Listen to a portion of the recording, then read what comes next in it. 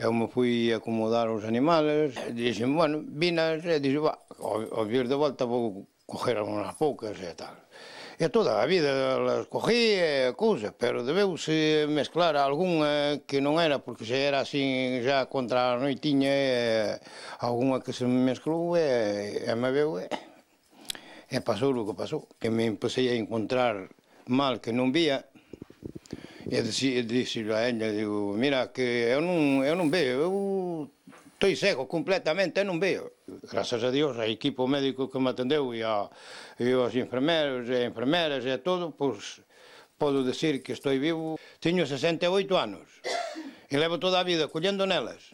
O meu abuelo que morreu con 98, caso con 99 anos, e, bueno, fartouse de decirme, mira que sempre hai un día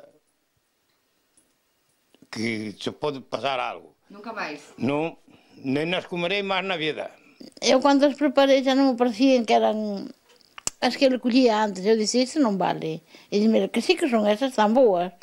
Eu non sei, pero estou desconfiada. Dixi, tú preparas. Eu preparei nas. Dicen que caín, que estaba no suelo, veo a ambulancia e levoume, veo outra ambulancia, non? Levoume.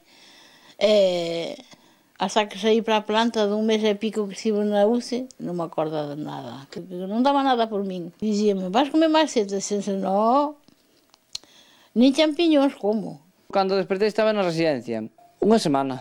Se o sea, estiveches unha semana en coma? En coma, sin despertar. A min quedaronme secuelas, e sinto moito que lle estei pasando a moita xente, non somos solo nós, hai esa xente en Vigo, hai máis por aí afora que Eh, collen, eh, esta, esta vale, aquela non vale. E ao mellor deixen a que vale e a que non vale, lévana. Un perigo, sí. Porque un cachiño así mata unha persona.